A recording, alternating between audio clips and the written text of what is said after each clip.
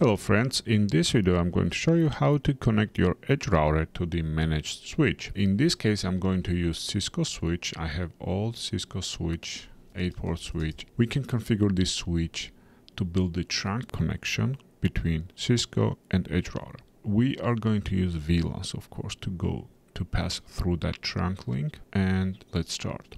On edge router I'm going to create the VLAN interface. On a Cisco, when you create the VLAN interface, you also need to create the VLAN itself, or at least you have to put interface into a VLAN, which will create the VLAN automatically. On Edge Router, you just need to add the VLAN interface, and this will create the necessary configuration automatically, so that VLAN will exist because we created the VLAN interface.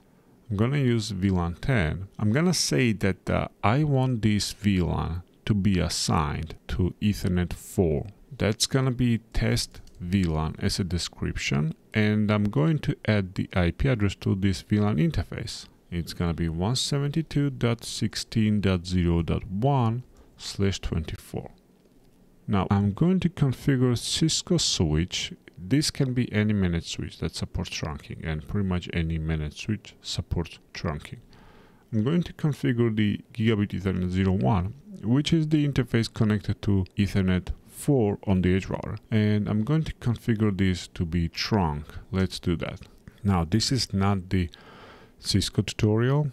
This is specific to the edge router, so I'm not going to explain a lot about how I'm configuring the Cisco or why, because this video is intended for you to configure the edge router to connect to to the Cisco switch which is already configured or managed by someone else. Now, okay, I can't do that. I still need to explain that. so uh, this is the old version. So I have to choose the trunking protocol.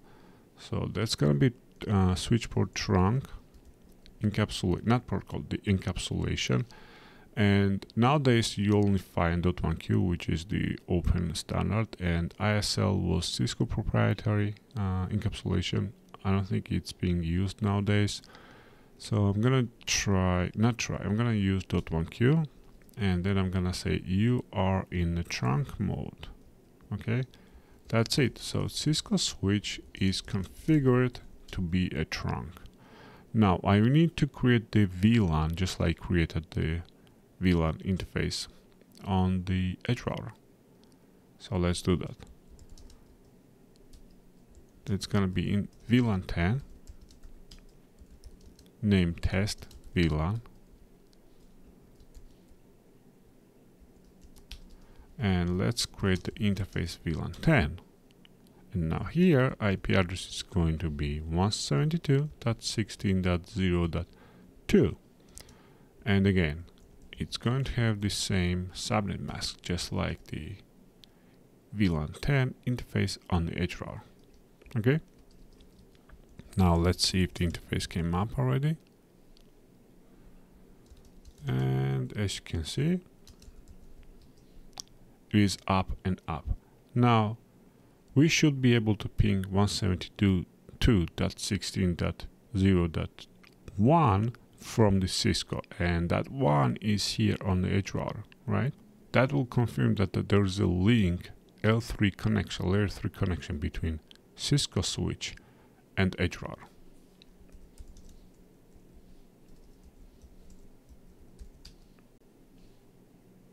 And as you can see, I can ping it.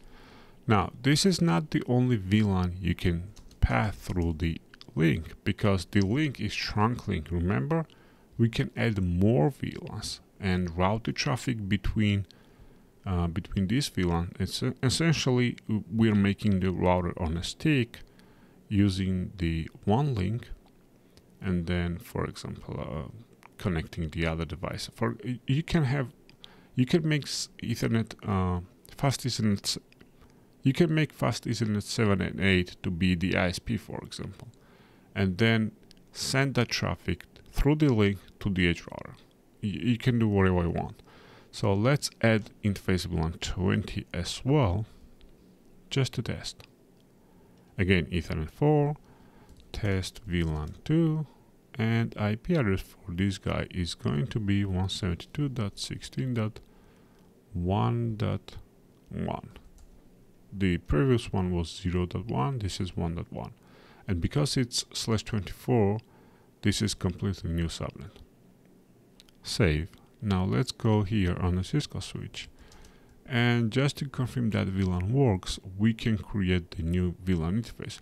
By the way there is no routing enabled by default on this switch which means even though if we have VLAN 10 and VLAN 20 the switch will not route the traffic between VLANs even if the computers and hosts on the switch connected on the switch will use switch IP as the gateway. The switch will not route the traffic. So all the traffic still goes to the edge router and edge router IP supposed to be the gateway for the computers connected to the switch.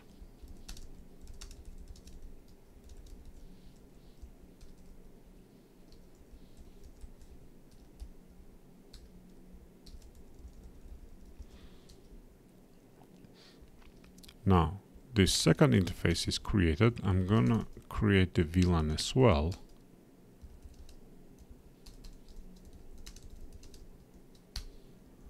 And now do show IP interface brief and let's see which interfaces we have up and running.